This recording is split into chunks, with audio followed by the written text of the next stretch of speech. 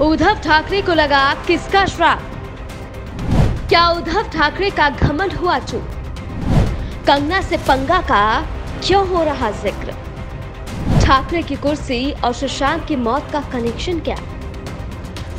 एक कहावत तो आप सभी ने सुनी होगी कि भगवान के घर देर होती है, अंधे नहीं। चौंके मत। हम आपको कोई कहानी नहीं सुना रहे, बल्कि एक ऐसी हकीकत से रूबरू करा रहे हैं, जो आजकल सुर्खियों में भी है।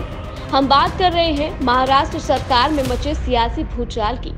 याद कीजिए, आज से 20 महीने पहले का वो किस्सा, जब मशहूर एक्ट्रेस कंगना रावत के घर के छज्जे पर बुलडोजर चला था और तब नज़ारा दूसरा था।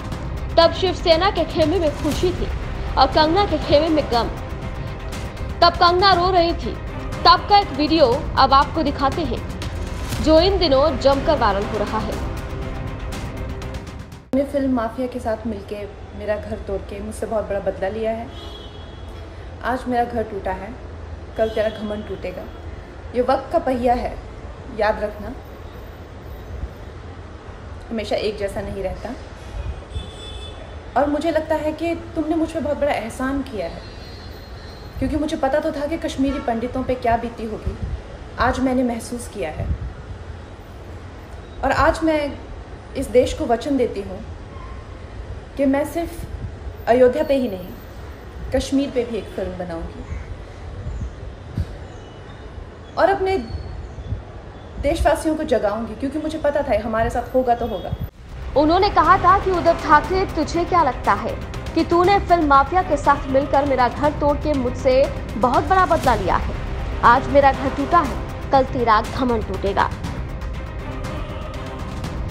अब समय का पहिया ऐसा घूमा कि आज उद्धव मुश्किल में है। ऐसा लगता है कि जल्द ही उद्धव ठाकरे की सियासत की कुर्सी के चारों पैर टूटने के कगार पर खड़े हैं। ये वही उद्धव ठाकरे हैं, जिनके पीछे कभी विधायकों का रेला दिखाई देता था। और आज समय की ऐसी मार पड़ी कि ठाकरे साहब विधायकों को फ़ोन कर मना रहे हैं। चलिए महिलाओं से उद्धव ठाकरे के पंगने के कुछ और किस्से भी याद दिलाते हैं। कौन है वो महिलाएँ जिनकी बदुआ के बोझ के तले दब गई महाराष्ट्र सरकार? जिसमें सबसे पहले आती हैं कंगना रणावत जिनकी कहानी हम आपको पहले ही बता चुके हैं। शिवसेना सरकार ने तो मोदी की माँ तक को भी नहीं छोड़ा। याद करिए, जब मोदी ने पहली बार देश के प्रधानमंत्री के रूप में शपथ ली थी, तब मोदी की माँ ने पाकिस्तान के पूर्व प्रधानमंत्री को उपहार में शॉल भेजी थी, जिस पर मोदी की माँ के बारे में शिव सैनिकों ने कुछ ऐसे शब्द बोले जो हम आपको सुना भी नहीं सकते।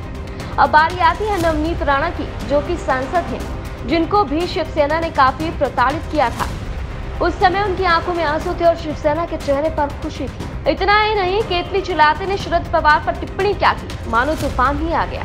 उनको जेल में डाल दिया गया और अब आप देख ही रहे हैं क्या हाल हो रहा है उद्धव ठाकरे का। बस यहीं पर खत्म नहीं होता। उद्धव की सरकार पर संकट के बीच जैसे ही महाराष्ट्र में सियासी उठपटक की गूंज आम लोगों तक पहुँची तो ट्विटर पर एक बार फिर से सुशांत सिंह राजपूत को लेकर ट्वीट होने लगे। ये तक कहा जाने लगा कि देश के हीरो को तीन साल हो गए। अभी तक न्याय के नाम सिर्फ़ खेल हुआ। खैर, जितने मुँह उतनी बातें तो क्या वाकई उद्धव सरकार अपने कर्मों का फल भुगत रही है?